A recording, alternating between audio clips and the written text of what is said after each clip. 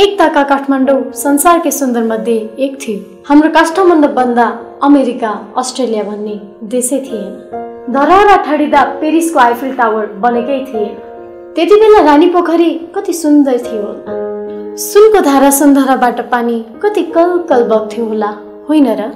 तर आज त्यो सुन्दर माण्डो कसरी ढलमाण्डो धुलमाण्डो बन्यो? कसरी अस्तव्यस्त बन्यो? कुरा सिम्पल छ। हामी पटक पटक लुट्नेलाई नै सहरको चाबी दिन्छौँ अनि जिल्ला पर्दै सोध्छौँ के भयो भनेर? आजसम्म हामीले चित्र मात्रै बदल्यौँ चरित्र कहिले बदल्न सकेनौँ। बल्ल बुझ्यौँ हामी त गरिब होइन रहेछौँ। हाम्रो व्यवस्थापन पो गरिब रहेछ। उदाहरणको लागि ठिक मानिस ठिक ठाउँमा हुँदा लोड सेडिङ कस्तो चट्ट हरायो? हेरौँ त। एकचोटि यो कुरा राम्ररी सम्झौँ त अब फेरि सुन्दर माण्डो फर्काउने बेला आएको छ। बिस बिस वर्षपछि स्थानीय निर्वाचन हुँदैछ।